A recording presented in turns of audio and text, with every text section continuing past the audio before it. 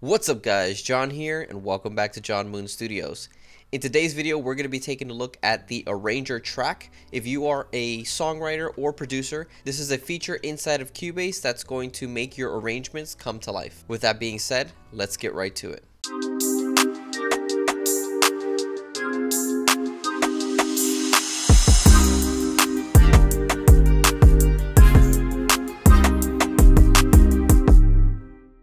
Alright, so let's dive straight inside of Cubase. And what we're going to do is we're going to load up Cubase with a piano and a drum track. I'm going to be using these two instruments to demonstrate the arranger track and how you possibly can use it. So here I have Keyscape and I'm going to load up a Rhodes custom piano.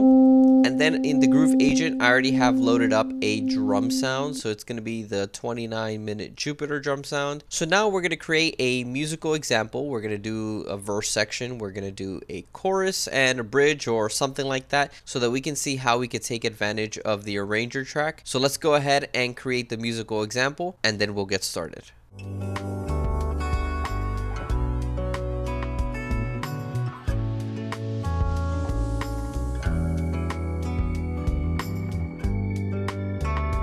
So we finished the arrangement. I went ahead and added a bass track as well, just so we can add a little bit more excitement to the song. And now what I'm going to do is I'm going to preview the song and we're going to get into the arranger track and see how we can use this to our advantage and move some of these pieces around without actually having to do anything. So let's go ahead and check out the tune.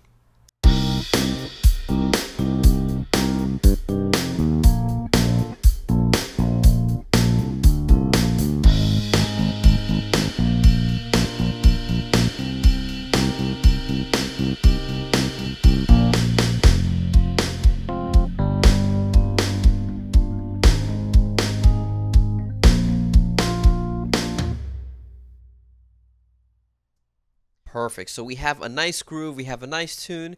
Now let's go ahead and activate our arranger track and get to changing or moving some pieces around here. So we're going to open up the arranger track and I'm going to throw it all the way up here at the top. So what we're looking at here looks complicated or something that you maybe wouldn't understand, but it's actually very simple. So we're going to get our pencil tool out and we are going to start arranging this track. So for this arrangement, every four measures, I change the section of the song. So what I'm going to do is grab the pencil tool and I'm going to drag this first one all the way up to the end of measure four.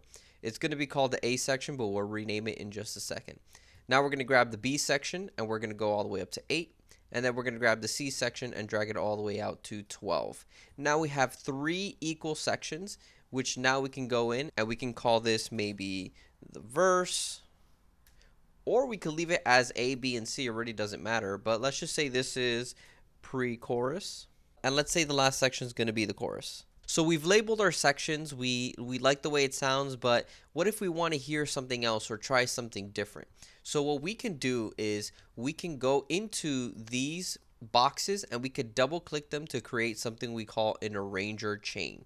So we can play each section. If we look at the left panel here, we can open it up by pressing this button. We can press play on verse, for example.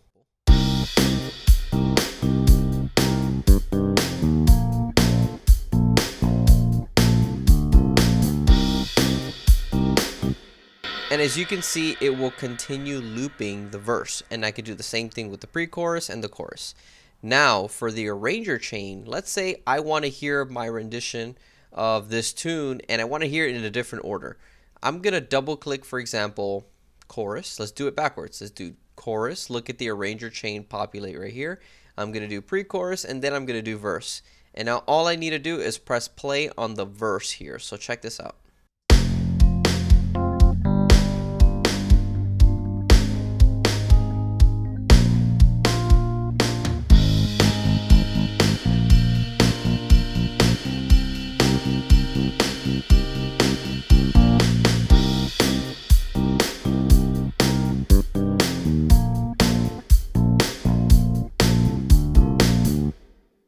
And just like that, we have rearranged our track and started from the chorus all the way backwards to the verse. We have options here on the left side. If let's say we want to change this to 2, we can have the chorus repeat twice. Press the little green play button and then I can press play either spacebar or the transport button down here. And this chorus section is going to repeat twice. Let's take a listen.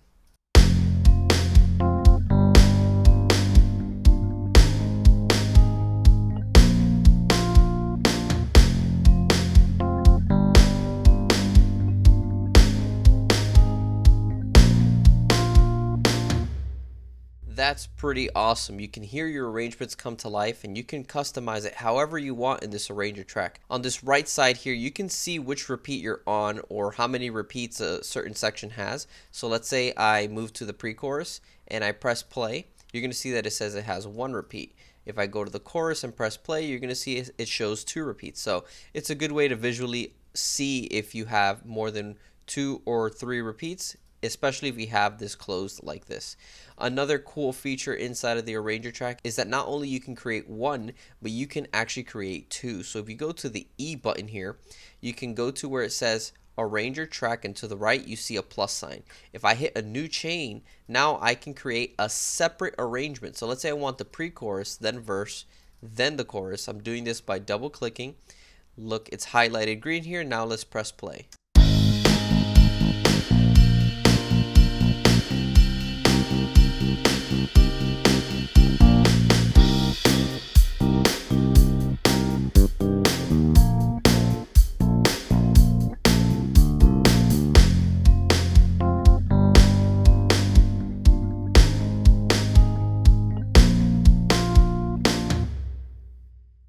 Beautiful. Now, did I lose my first arrangement? No, I can always click on the drop menu here and hit arrangement 1 and you're to see I have it saved here. You can also do this on the left side. You can rename it, duplicate it, and now for the very special feature that you really need to be careful with this and it's called flatten the chain. If you flatten the chain either by pressing it here on the drop down menu or going to the E and pressing the flatten chain button, what it's going to do is it's going to conform your piece to the arrangement you chose. So what I recommend is if you are doing an arrangement and you are going to conform, saving a different copy or a separate copy with the conformed track. Why? Because once you conform, the arranger track will go away and disappear. And I'm not sure if Cubase 13 has this feature a little bit different. I haven't upgraded because right now I'm in between projects and I don't want any of my projects to have a crash. Let's see what happens with flatten chain once we press it. So I'm going to go into arrangement 2, let's say, and this is the, the one that we like. This is the one that producer checked off let's go ahead and press flatten chain. So we need to see pre-chorus, verse, and chorus, which means this section of the pre-chorus, then verse, then chorus. Watch what happens. The song now was cut into pieces, and now the chorus, I'm sorry, the pre-chorus, the verse, and the chorus is going to be in the order that you chose. So let's take a listen.